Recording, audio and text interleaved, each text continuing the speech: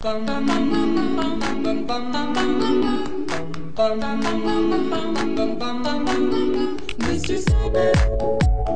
Bring me a dream. Make him the cutest that I've ever seen. Ladies and gentlemen, boys and girls, I am Martin Jimenez, and I would like to be your junior representative. Well, you may be wondering, why should I vote for this random kid? Let's take a gander at why. Well, first of all, you should totally vote for me because I think that the spread of ideas is very important, such as making new memories with your friends and other musicians.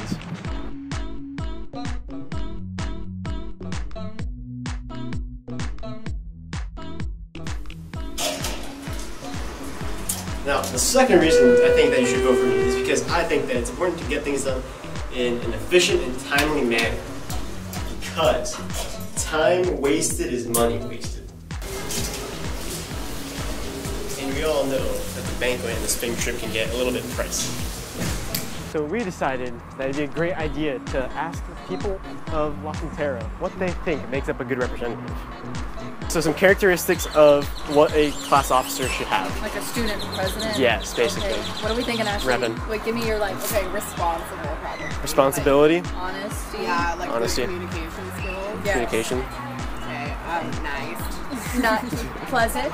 Okay, Okay. There, you got three. That's good. Okay. Uh, thank y'all.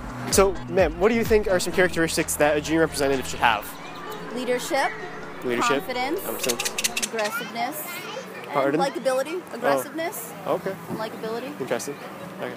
Well, thank you. Some characteristics that you think a junior representative should have. I think they should be honest and confident, um, not afraid to speak their mind and uh, represent the juniors. Um, I think that they need to be hardworking to keep up with the schedule and stuff. And I think the most important thing is just like have an open mind so you can take in everybody's ideas and get everyone involved. Sounds good. Thank you. Some great qualities that a junior representative would have.